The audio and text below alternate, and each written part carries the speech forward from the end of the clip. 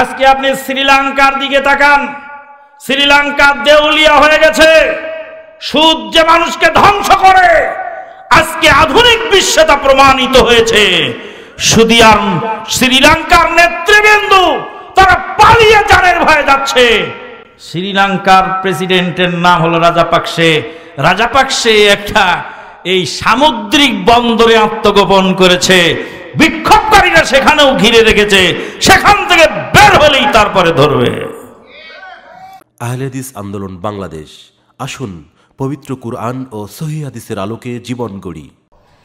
আজ থেকে প্রায় সাড়ে চোদ্দশো বছর পূর্বে নবী সাল্লাম আল্লাহ পাক বলেছেন ইয়াম হাকুল্লাহুর রিবা ওয়াইউরবিস সাদাকাত। আল্লাহ রাব্বুল আলমিন সুদকে ধ্বংস করেন, আর সাদাকাতকে, জাকাতকে আল্লাহ বৃদ্ধি করে দেন। তোমরা যে সুদি কারবার করো, আল্লাহ বলছেন, তোমরা যে সুদি কারবার করো, সম্পদ বাড়ানোর জন্য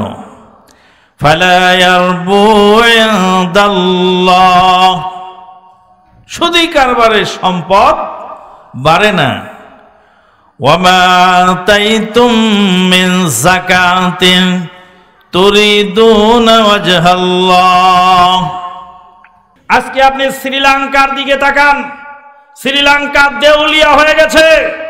সুদ যে মানুষকে ধ্বংস করে, আজকে আধুনিক বিশ্বে তা প্রমাণিত হয়েছে।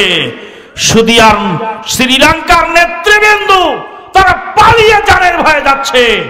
শ্রীলঙ্কার প্রেসিডেন্টের নাম হলো রাজাপাকসে রাজাপাকসে একটা এই সামুদ্রিক বন্দরে আত্মগোপন করেছে। বিক্ষোভকারীরা সেখানেও ঘিরে রেখেছে। সেখান থেকে বের হলেই তারপরে ধরবে। সুদ মানুষকে ধ্বংস করে। তার জ্বলন্ত প্রমাণ আজকে শ্রীলঙ্কা উদাহরণ। সুদি ব্যাংকের মহাজন ডক্টর ইউনুস নভেল পেয়েছে কিসে? শান্তিতে। দুই হাজার তেরো সাল, দুই হাজার তেরো সাল আমি হজে গেলাম। দুই হাজার তেরো সালে সরি দুই হাজার সাত সালে হজে গেলাম। দুই হাজার সাত সালের হজ সফরে জেদ্দার এক অ্যাডভোকেট তার নাম শেখ ফুরাইবিন আলী আল উকলা।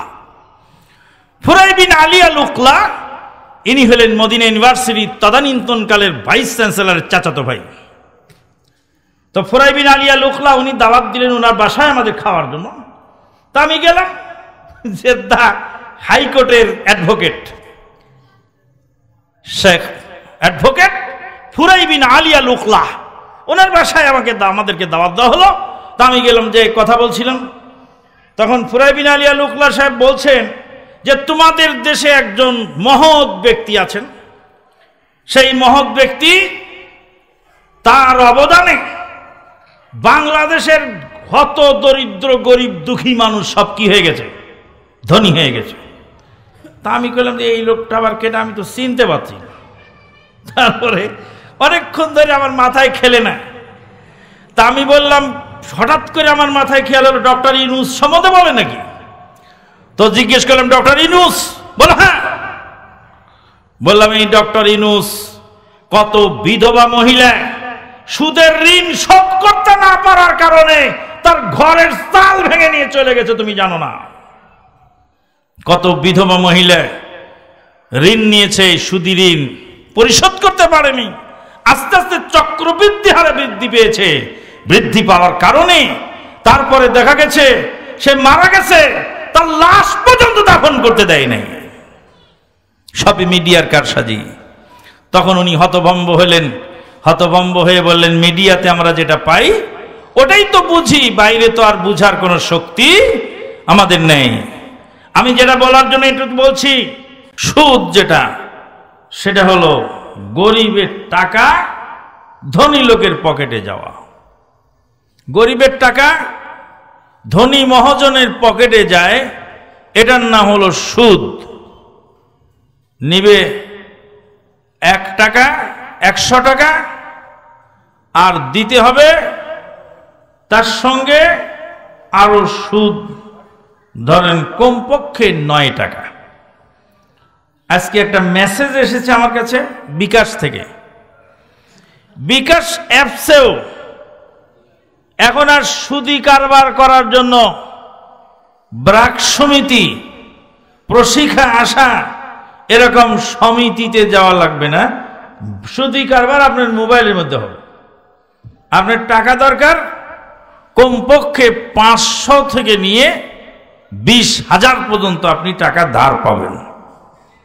কিন্তু সেই টাকার সঙ্গে নয় পার্সেন্ট সুদ পরিশোধ করতে হবে।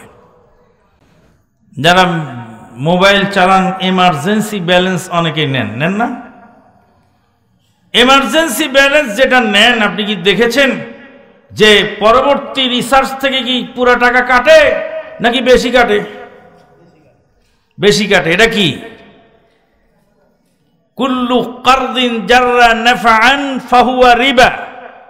সুদের সংজ্ঞা রাসূলুল্লাহ সাল্লাম বলছেন, প্রত্যেক ঋণ, যেই ঋণের সাথে লভ্যাংশ আসে, বা কিছু বর্ধিত কিছু দেওয়া হয়, সেটাই হলো সুদ। মৌলানা নোমান সাহেবের কাছে আমি দশ হাজার টাকা ধার নিলাম।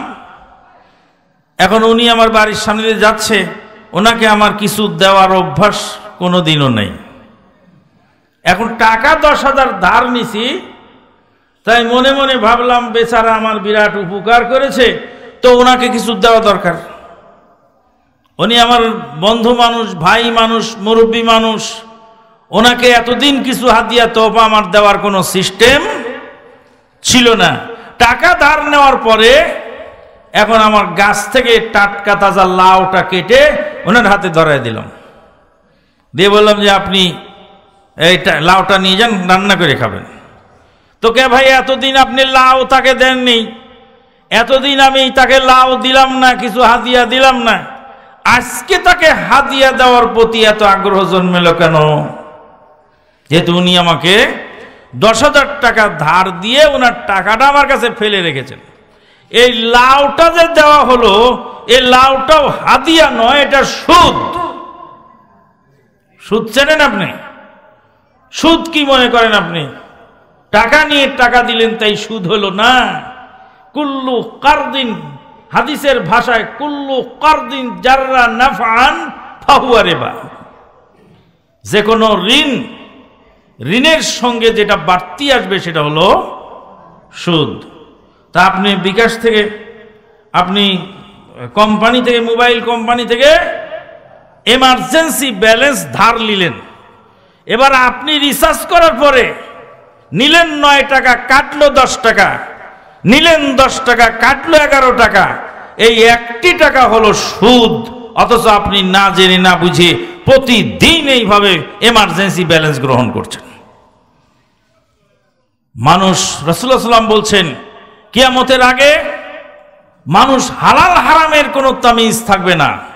হালাল খাচ্ছে না হারাম খাচ্ছে, এটা যাচাই বাছাই করার কোনো ব্যবস্থা থাকবে না।